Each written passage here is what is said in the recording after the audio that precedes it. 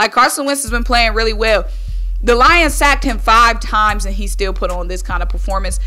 There's nothing really more you could do with that. Like, we have to pressure him but also we have better we have a better secondary. So you know even we have him under pressure he's making throws under pressure and then we, we have those guys downfield that we can rely on to make the plays downfield. But there's really i mean you just got to give kudos and hats off to carson because you're taking five sacks and you're still putting up that kind of passing performance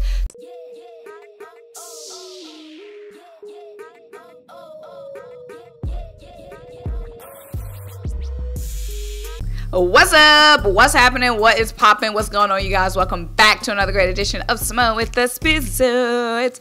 I'm Symone, bringing you guys daily sports talk. So if you're new here, if you're old here and haven't already subscribed to my channel, stop what you're doing, leave a comment, subscribe, keep rocking with me. Also, make sure you check out the links down below. The first one is to buy me a coffee to help fuel this channel. The second link is to shop the official Symone with the Spizzards a merch collection. Get you the classic tee, the wavy tee, or the flower dye crew neck. And lastly, guys, if you do not do anything else, turn your notification bells on because you don't want to miss a single video or a single live stream. But y'all, it's Thursday, so you know what that means.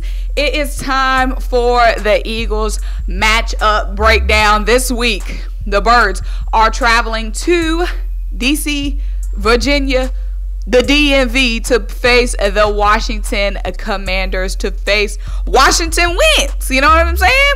Washington Wentz This is going to be our first time facing Carson Wentz this season. Could be the first of many if, you know, things pan out for him um, in Washington. And so far, it's been going well for him in Washington. Um, the team did drop last game against the Lions, so they are going to be coming to this game looking for a win, especially since the way that Washington Lions game went, the Washington Commanders were starting to get their groove in the second half they just didn't they just got their groove late. So they're definitely going to be coming to this game with momentum and wanting to get that win that they felt like they should have got against the lions. Now the eagles are coming into this one 2 and 0 you know what i'm saying? Riding a great win on monday night football against the vikings and we cannot drop the ball. We have to um, continue the momentum that we have. Now again like i said Jalen Hurts versus Carson Wentz for the first time. Well, this ain't the first time because you know they was battling in our QB room, but this is the first time they be going against, against each other on opposing teams. And you know those two guys are always gonna be, you know, they're always gonna be connected. But guys, we got to get into the matchup. So this game is it's a lot of things to look out for in this Washington um, Eagles game. Now the Washington Commanders are a solid team, but they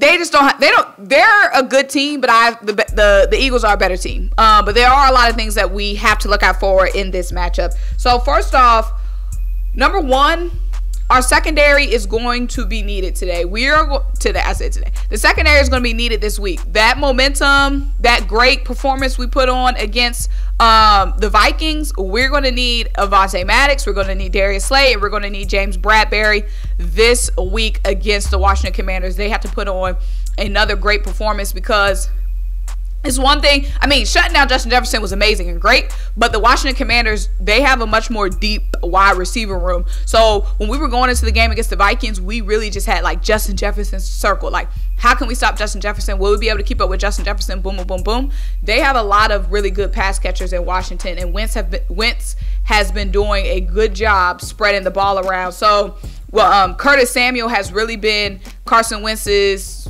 I guess you can say favorite target so far this season. Um, but they have, of course, Curtis Samuels, Scary Terry, um, Jahan Dotson. Um, I think he's a rookie. He's he might be coming to a second year, but I want to say he's a rookie. He has been playing well for them um, this season, and then of course J.D. McKissick. So they just have a really balanced group of wide receivers. They have a really balanced group of playmakers. Um, so it's not just like shutting down Justin Jefferson, Justin Jefferson, Thielen. They're only two, um, the only two options really for Kirk Cousins. Only two guys we got to hone in on.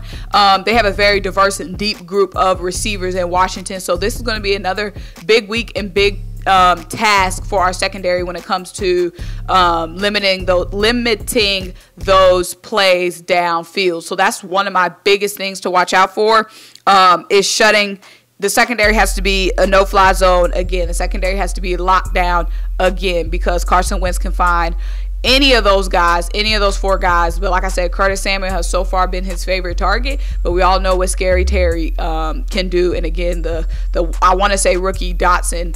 Um, he might be coming to a second year, but I want to say he's a rookie. He has been playing um, really well as well, and then of course JD as well. So the Washington Commanders have a very deep group of receivers. That's one thing, one of the biggest things we have to be on the lookout for.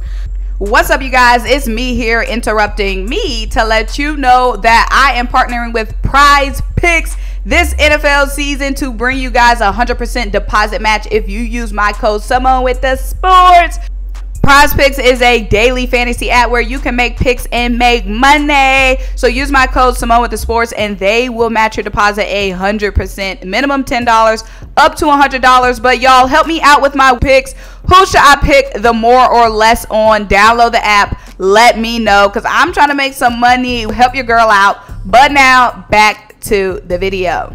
Now on the flip side, Washington secondary, where our secondary has been our strength Washington secondary has been one of their biggest weaknesses so far this season. And Jalen Hurts, DeVonta Smith, AJ Brown, Quez Watkins, Zach Pascal, we have to exploit Washington's secondary. They got William Jackson and Kendall Fuller. Both of those guys have been underachieving so far this season. Both of those guys rank near bottom in the league when it comes to cornerbacks in coverage. Out of 101 cornerbacks in coverage, those guys are like ranked 85 and 90. They have been doing a piss poor job when it comes to, you know, making plays downfield. So we have to do what we need to do when it comes to exploiting those guys. Jalen Hurts looked so good in the passing game last um, week against the Vikings, being able to um, spread the ball around, share the ball around, make all the throws he needed to make. And I think that's that's going. I mean, it's definitely going to be huge this week. But um, being able to pick apart and um, expose the Washington secondary that is going to be huge. So last week, Jared Goff passed for four touchdowns four touchdowns, 256 yards against Washington secondary. I think Jalen Hurts would be able to do the same. And this was Jared Goff being under pressure as well. Um, we'll talk about it more, but I believe Jared Goff took he, five sacks last week. Um, no, Jared Goff took three sacks last week. Jared Goff took three sa- took three sacks, but he also threw for over 250 yards and four touchdowns. So, like I said, the the Washington football team was getting that pressure up front, but the secondary just was not living up to the task and doing what they had to do down the field in coverage. So we have to exploit that. That's going to be big for us. We have the playmakers, we have the quarterback to do that. That's going to be one of the biggest things I'm going to be looking out for is Jalen Hurts airing it out, exposing those guys downfield, William and um, Kendall Fuller. So be on the lookout for that. Now, one of the big things is, of course, Carson Wentz. Now, the thing um, Carson Wentz has been playing really good this season, um, and we know he knows our team. Our team knows Carson very well, um, especially those veteran guys up front. Um, on the defense, they know Carson Wentz well, going up against him in practice. Boom, boom, boom, boom, boom, boom. We have to get pressure on Carson Wentz. That's a anytime you're playing anybody, it's always a key. Get pressure on the quarterback. Get pressure on the quarterback, right? But Carson Wentz has been playing so well under pressure this season, and especially last game against the Lions. So last game, Aidan Hutchinson had three sacks. Three sacks for Aidan Hutchinson. Um, Carson Wentz took five sacks Carson Wentz took five sacks last week. Five sacks, but he still threw for 337 yards, three passing touchdowns, and he was 30 for 46, which is like 65% um, completion rate. And this was him under pressure. So it's not one thing just to get pressure on Carson Wentz. And honestly, I don't even know. Like Carson Wentz has been playing really well. The Lions sacked him five times and he still put on this kind of performance there's nothing really more you could do with that. Like we have to pressure him, but also we have better we have a better secondary. So you know, even we have him under pressure, he's making throws under pressure. Then we, we have those guys downfield that we can rely on to make the plays downfield. But there's really, I mean, you just got to give kudos and hats off to Carson because you're taking five sacks and you're still putting up that kind of passing performance. The the breakdowns that you're having up front on the offensive line, um, having to scramble, make those tough throws on the run. That's just all kudos and shout outs to him. I'm saying put pressure on him, But the Lions put pressure on him and it still didn't work. Like I said, three touchdown passes. So the key for us is, like I said, our secondary coming up big because he's obviously doing well under pressure. You can't ask your defense to give you more than five sacks. That's a lot of sacks. Um, I can't say, oh, we need to sack him 10 times then it's obviously not the sacks. It's obviously the people downfield uh, making those plays when he when he does get the ball off. So of course we want to get that pressure. We want to continue to get that pressure that pressure that pressure pack on Carson Wentz.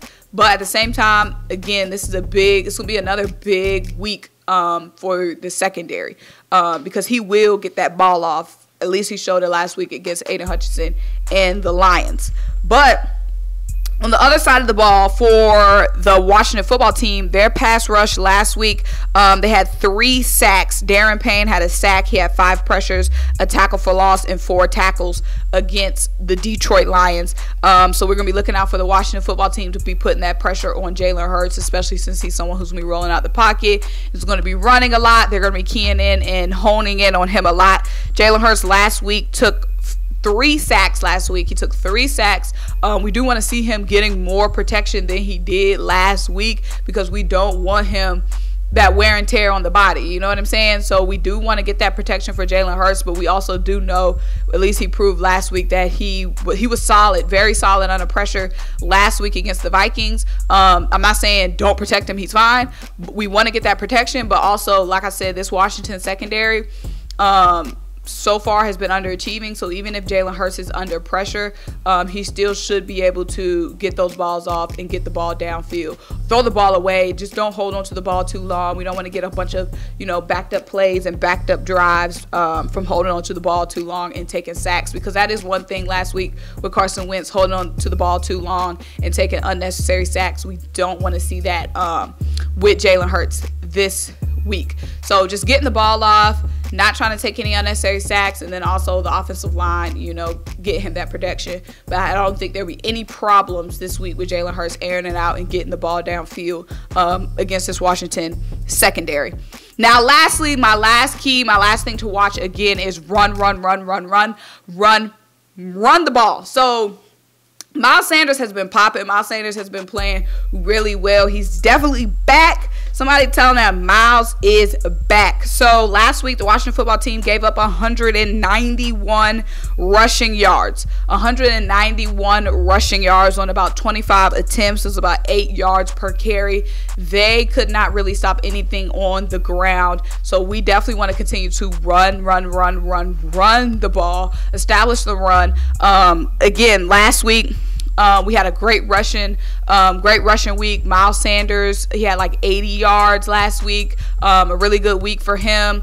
Um, Boston Scott got the ball. It was a really good, you know, balanced run attack from us last week, and it looks like Washington is going to give us the same thing this week. So we have to take advantage of keeping that ball on the ground too, even though, like I said, their secondary has been underwhelming. They have been underachieving.